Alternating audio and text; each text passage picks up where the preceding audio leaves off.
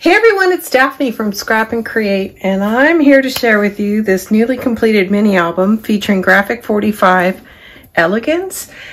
And this is a new project for me. Um, I put the, the tutorial for the box out early just because it was new and I wanted to share that as soon as I had completed it. But now my project is complete, so we're going to go over all of the details and I'm going to especially focus on details that I did not cover during any of the tutorials. So I did cover this when I covered the album. This is a fussy cut apart from the ephemera cards and it's chipboard back so it's slightly elevated. This is a cut apart from the collection and here's a piece of chipboard. Here's some ribbon. I um, added a piece of chipboard here which I did not cover as part of the base tutorial. There's the sides.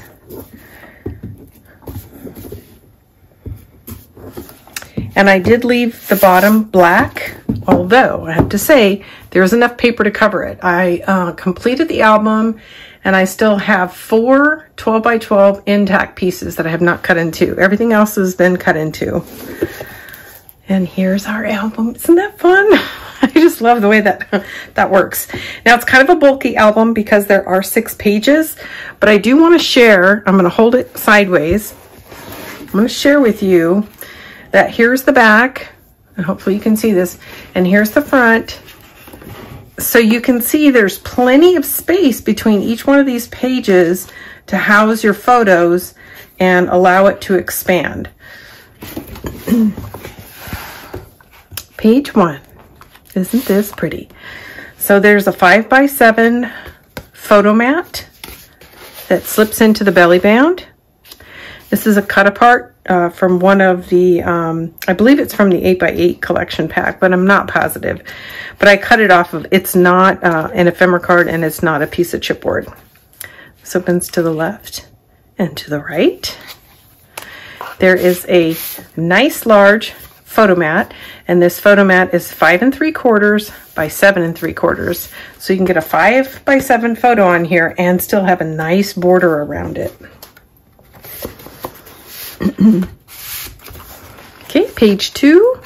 I added a piece of chipboard here. Just helps helps sort of as an indicator that there's a flap here. And inside this page there is a nice pocket.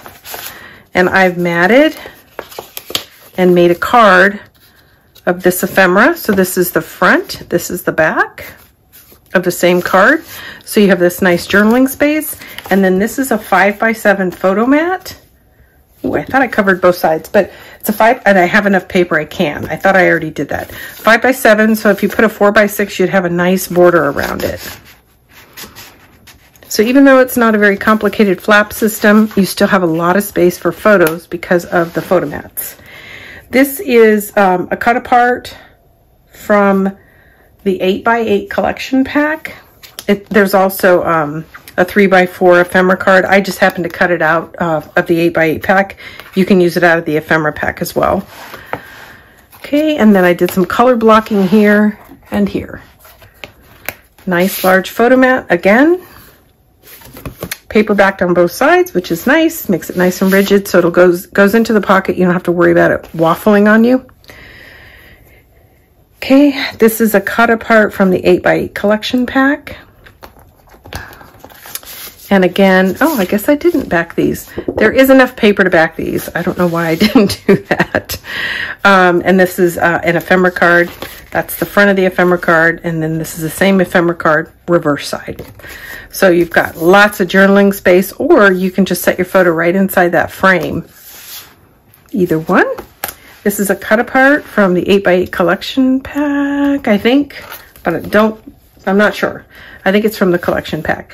Now, this page, during the tutorial, I, I told you I put this in upside down, and that's why this is, this is going down and not up. But it turns out I had enough paper that I remounted the inside so that everything is right side up. So that was just fortunate. Now, if it was built correctly, it would have been reversed and the pink would be on top and the black would be on the bottom. So I couldn't change that, but I could definitely change this and this. Okay, nice, nice large photo mat once again. I'd love to hear your feedback on this. I think you guys like this project. Um, my next project is going to be uh, baby first year. So there's going to be, it's going to be a relatively repetitive album. It's going to have 12 pockets in it uh, to cover one month of each year of the baby. I guess it's these that I was thinking about. I did uh, put cardstock on both sides.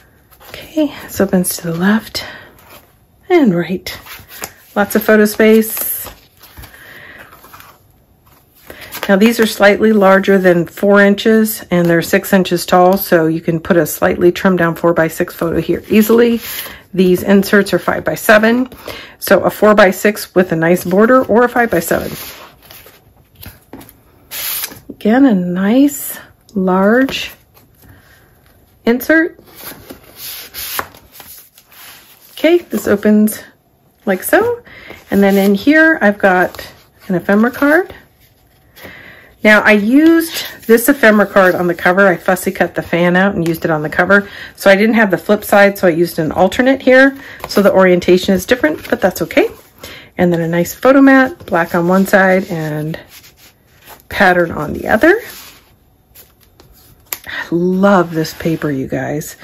This is fussy cut from the 8x8 collection pack. Opens up down. Nice large photo space that one doesn't want to come out, sorry. Nice large photo mat. So you can see I've covered both sides. I don't always do that because I don't always have enough paper. Um, these are cut aparts from the 8 by 8 collection pack and also just various images in the collection. They're open-ended, so you can tuck your photo in here so you can still get a photo here. And then you can open top to bottom, and these are just alternating patterns. And this opens, and again, we've got inserts. So we've got this ephemera card front and back, and then a nice photo mat, five by seven, which I talked about in the build process, and we did have enough paper for that. So that was nice.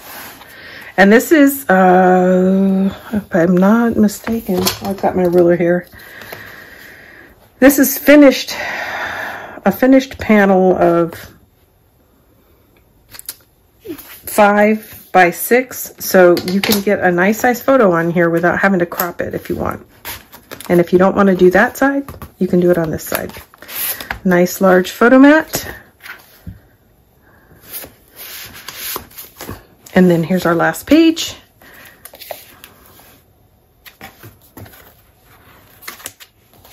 And then we've got a photo mat here. Lovely, lovely. Now, the, I had a couple of uh, 5 by 7 inserts in here. I think there's four of them in total. And I only covered one side, but you do have enough uh, paper to cover both sides. I guess I just missed it in the end of the build process. So we'll let those all lay down. This closes. And that is the walkthrough for Elegance. I hope you guys enjoyed. And I look forward to sharing my next project with you guys real soon. If you could, leave a nice comment, share, like, um, and subscribe, and you'll be notified every time we have new content on our channel. Thanks for joining us here at Scrap N Create. I'll see you soon.